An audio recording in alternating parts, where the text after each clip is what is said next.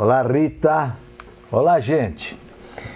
Pois a nossa Expo Vale está bombando. Olha, quem foi lá viu uma bela organização, um sistema muito bom de atendimento, muitas novidades, mas especialmente nós temos que ver como mudou a Expo Vale, eu que acompanhei desde as primeiras, quando a gente chegava a Fenal com barro, né, aquelas dificuldades de um pavilhão para outro, não tinha, tinha um, um pavilhão ou dois improvisados, e, enfim, evoluiu, fui ver as agroindústrias, uma beleza. Dá gosto de ver a organização, dá gosto de ver os produtos que está se fabricando nesse país, nesse estado e nessa região. Produtos de qualidade. Cada vez mais as agroindústrias se aperfeiçoando para trazer um produto diferenciado para a nossa mesa.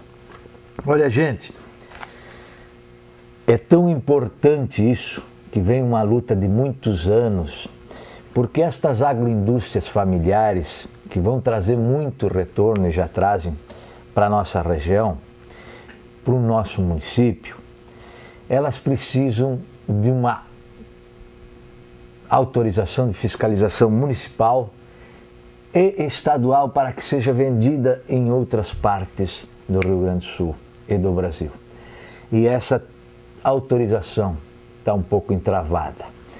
E nós temos que fazer força porque apenas três municípios aqui do Vale do Taquari têm o certificado para poder vender os seus produtos no estado. São eles Nova Brécia, Progresso e Encantado. Estrela, que é uma tradição na agroindústria e lajado, também deveria fazer essa forcinha para poder oferecer esses produtos de qualidade em outras comunidades, em outros municípios e outros estados.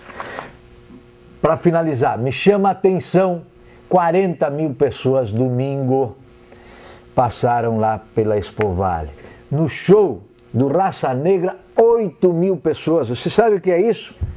8 mil pessoas num show. Vamos imaginar que vários dos nossos pequenos municípios juntos formariam uma população de 8 mil pessoas. Estavam lá reunidas para ouvir o Raça Negra e outros shows que estão acontecendo na nossa Expo Vale 2012. Para finalizar, isso é do meu tempo, olha, até as rugas, o cabelinho, mas tinha músicas que nos tocavam a alma.